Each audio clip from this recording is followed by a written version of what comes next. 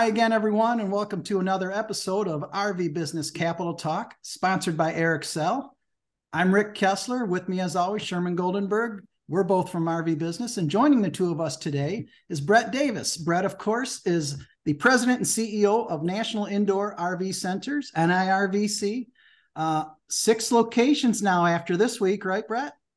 That is correct. Let me get this right here. Um, five locations previous Lewisville, Texas, Lawrenceville, Georgia, North Las Vegas, Surprise, Arizona, Manassas, Virginia, and now after what uh, next few days, it'll be just outside of Nashville in Lebanon, Tennessee. You're correct, Rick. That's headquarters. Headquarters where, Brett? Lewisville, Texas. Okay. Just suburb of Dallas. So before we talk about this week's grand opening outside of Nashville, Brad, if you don't mind, give us a quick uh, summary of NIRVC. Um, I know you like to claim a, a concierge level of service, but but what does that mean?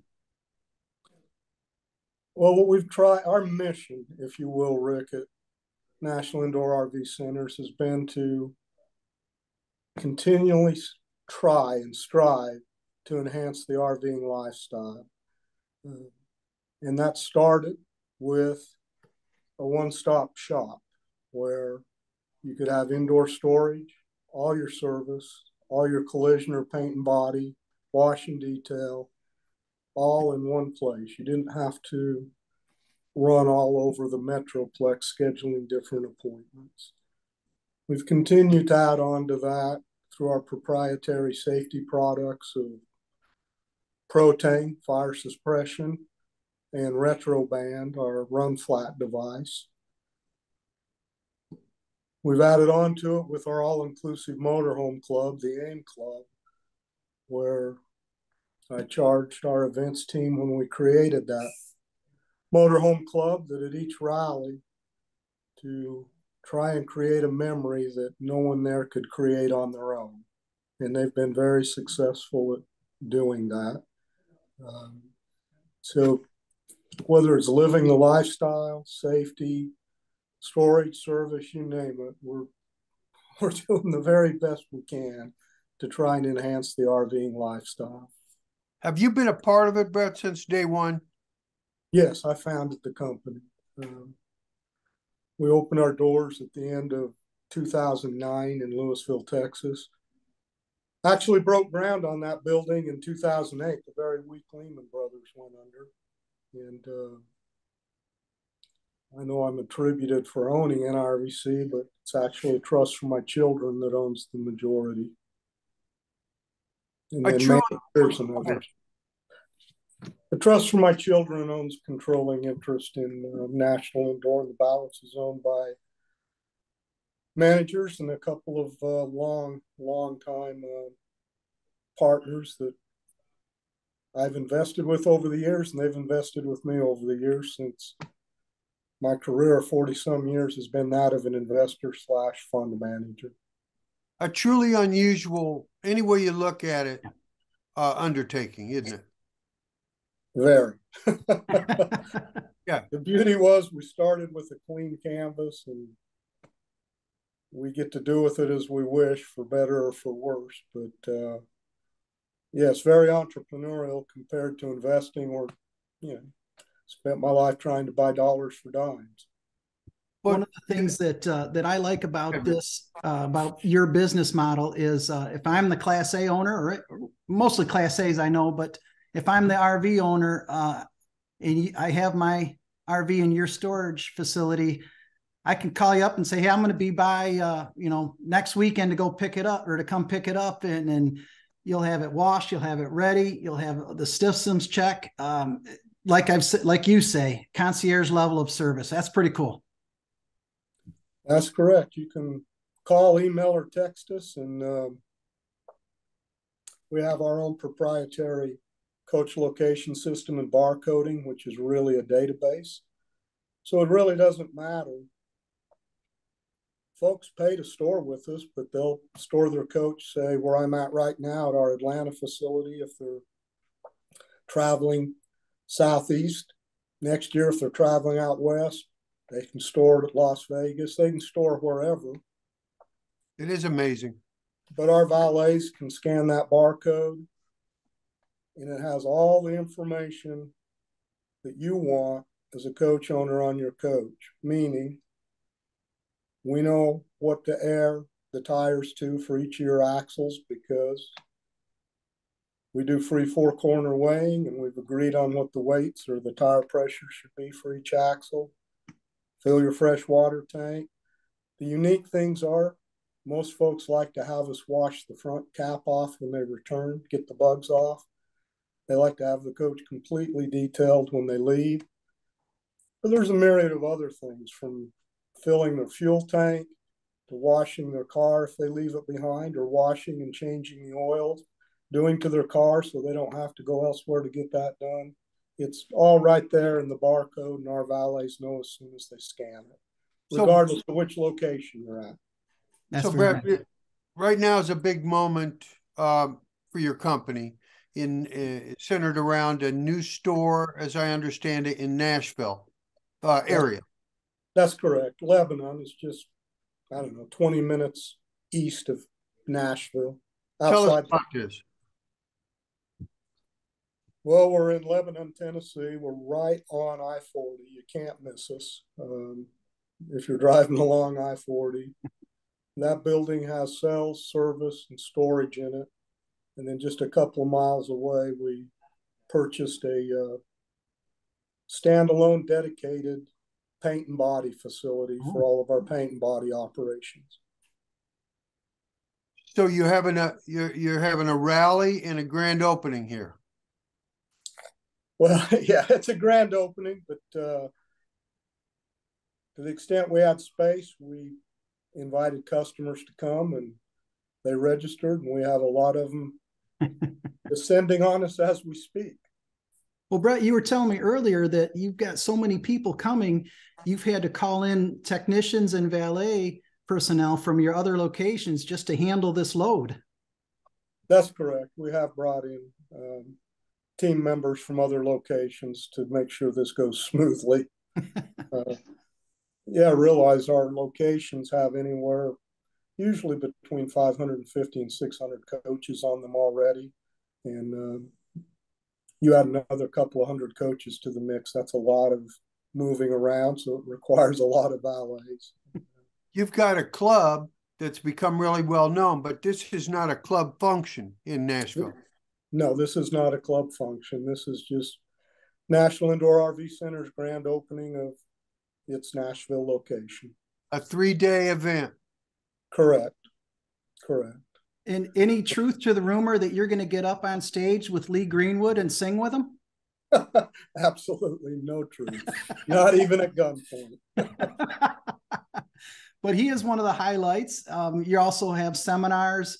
You'll also have, uh, I'm sure, all kinds of, of uh, camaraderie, social activities, and whatnot.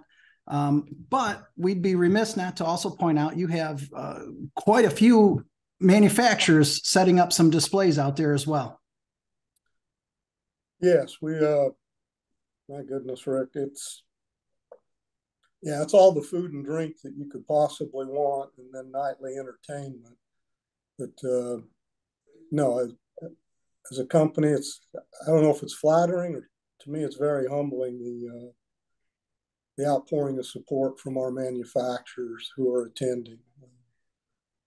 I, I was stunned to see those the executives who are coming. It was really, really heartwarming. It, uh, rumor has it that that if we're on uh, this uh, collective uh, call, uh, this video right now, that you might have a, a an announcement to make uh, to the industry, to your sphere.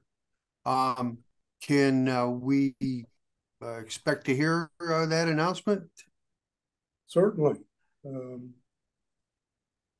we're just, again, trying to advance the RVing lifestyle. Uh, I personally know what it was like for 30 some years to go shopping for an RV, um, a motorhome. Uh, I would either drive or fly all over creation. In fact, the last coach I purchased before starting National Indoor RV Centers was I flew to Sacramento to purchase it. That makes it difficult to go shopping. So, what has emerged, as you're well aware of, is what I would call for profit shows. Some of the larger ones being the Tampa show and the uh, Hershey show, where a shopper can go and see all the Class A motorhomes. Um, but those shows are anywhere from four months to eight months into the model year. They are for profit, so they're very crowded. And if I'm shopping, as I have in the past for a coach, you know, I have to stand in line to get into some of the coaches I want to look at. So, what we're offering because of the Nashville location and all of the Class A's, many of the B's and C's, but all the Class A diesels it represents. Uh, we're starting an annual. Uh, I'll call it's a VIP shopping experience. It's called Music City's Motorhome Expo. Uh, the fairgrounds are four miles from us. We have bought out the fairgrounds for the first, Think, 10 days or so in June of 2024. We've got a few days to set up, and then the event is four days and a few days to take down. But I think what really sets it apart, Sherm, is several things. First, this will be the show that the new model year is introduced every year. All of the manufacturers have agreed to that. So if you're a serious shopper of a new motorhome, you can come to this show the first part of June every year, where the weather is beautiful um, there in Nashville, and see the new model. Secondly, there will be full displays of each manufacturer with all the models and floor plans set up. Again, much like the shows folks have been to. Um, the difference is we will be serving breakfast, lunch, and dinner each day. Mid morning, mid afternoon snacks, you know, ice cream, brownies, that sort of thing. Basically, all the food and drink you would want. Evenings, uh, we'll be utilizing seven of the buildings on the uh, fairgrounds. One of them we will treat everyone to a free concert each night from name brand artists. Um, so they will have access to the new models, floor plans, the design centers there, unfettered one-on-one access with the manufacturers, not only the motorhomes, but all the major components, where they won't have to stand in line. I don't want there to be any confusion here. This is not a rally nor is it a for profit show. Um, it is a VIP shopping experience for those who have determined that now is the time they want to buy their motorhome. Huh. And we're doing our best to pre qualify them okay. so that we don't. We don't want thousands of people here, Sherm. And the best way we knew how to pre qualify them is through money or a deposit, if you will. Mm-hmm.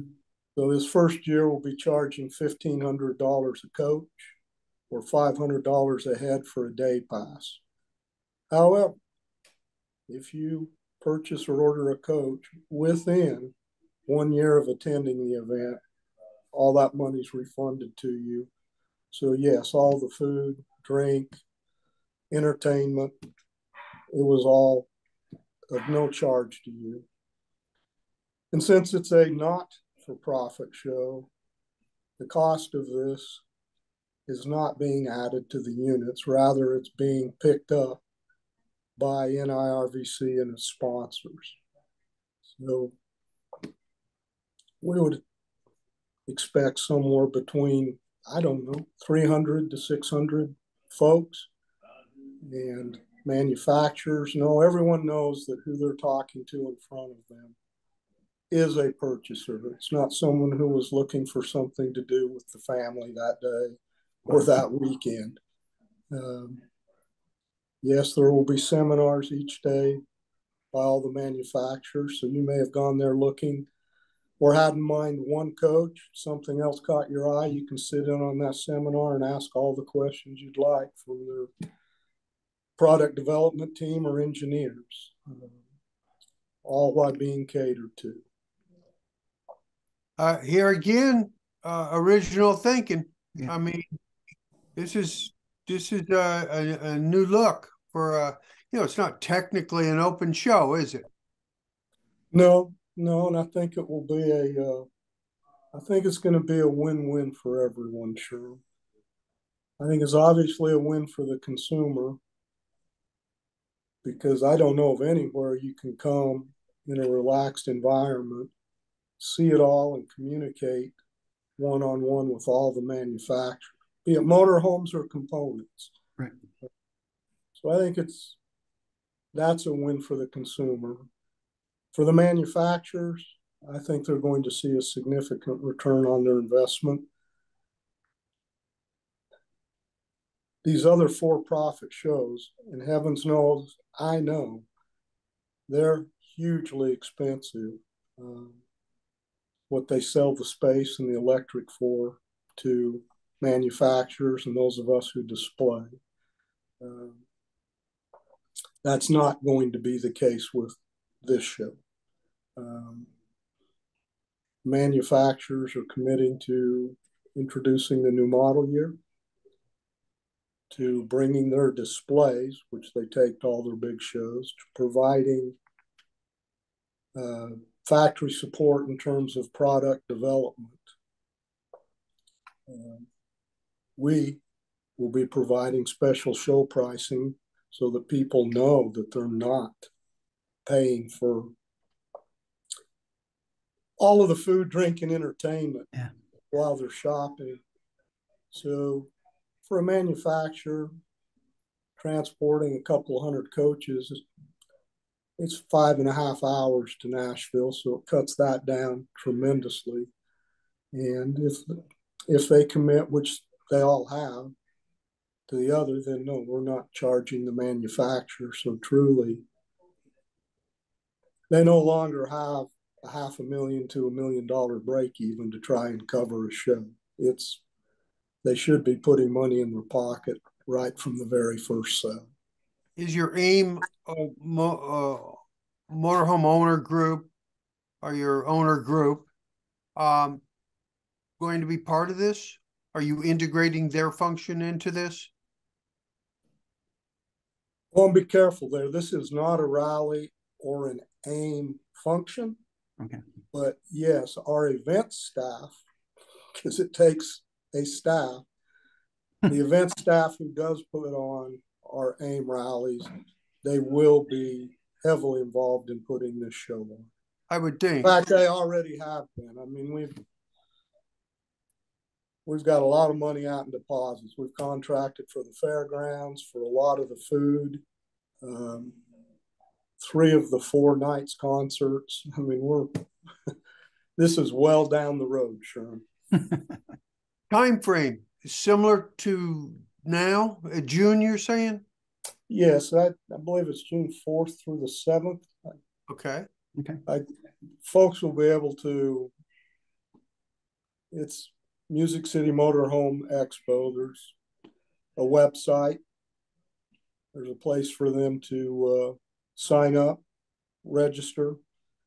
Uh, and when they go to do that, if I'm off by a day or two, sure, it'll be there. But I think it's June 4th through the 7th, 2024, for our first annual show. Brett, this is, yeah, I was stunning is the word I was going to use too. What what just a bold bold announcement. That's uh again, like Sherm said, forward thinking. Oh, thank you guys. Uh, always so kind, but uh, no, it'll be interesting to see if it's a success. I hope it is, obviously, but it'll be a one or a zero. We'll find out in a year. Do you see it, Brett, as a as a leap of faith? Uh, yeah, I'd have to say so because it's never been done before. Right. Um, then again, each piece of our business model has been a leap of faith. I mean, what entrepreneurs do. yeah, whether Yeah. it was uh, trying to integrate it all under one roof, believe me, bringing we have nine different revenue streams. Trying trying to bring those together as one seamless service. That's not easy. That took a while to nail before we could scale it. Um, obviously, a dealer having a motorhome club was a clear leap of faith, uh, and it's we've been rewarded very well for that. So no, this show is certainly it would qualify as a leap of faith for sure. Yeah. You reminded me of one other question. So this event next June is going to be indoor and outdoor. Correct. Okay. You suppliers inv- involved at all? That's what I meant by the component manufacturers. Okay, I'm sorry. So, yes, they will all. We have a number of major components already signed up to be there. So you'd be hard pressed if you're truly shopping for a motorhome to not have access right to the manufacturer of any unit or any component. We want the goal is to make it all available to you for a shopping and informed decision, all while getting a VIP experience while you're shopping. Brett, Well- at, at the risk of repeating yourself, um, did you mention this is all motorized or, or diesel pushers? We represent in Nashville all the diesels, but no, it would be all Class A's. And while we don't carry all, there's a there is a lot of B's and C's. We do carry what I consider to be the high end of all the B's and C's, and no, they will all they are all participating as well. Wonderful. I, I, I, I speaking for myself, I'm looking forward to it. Hope we uh, get a quiet uh, invite here, Kessler and Goldenberg. Uh, you're invited right now. Consider Thank yourself you. invited. Sure. Thank you. Thank you, because Sherman does want to get up on stage with Lee Greenwood or whoever you might That's have. That's what I do. Yeah, that's what I do, Rick. All right. We'll, we'll make sure that we let you uh, do a duet with one of the performers My God. or one of the groups. There's a couple of them they've got signed or groups. So So, Rick, you think we ought to let him off the hook here? I think so. Brett, um, again, NIRVC forward thinking, bold announcement, um, a leap of faith, yes, but uh, obviously a, a very confident leap of faith. well, we certainly have our fingers crossed. Um, a good chunk of the money's already out the door. we'll see how this works out. We we appreciate the heck out of it, man, and and uh, look forward to working with you on this new venture. Thank you so very much, Sherm. Really appreciate it. Rick, take it away. Brett, thank you one more time.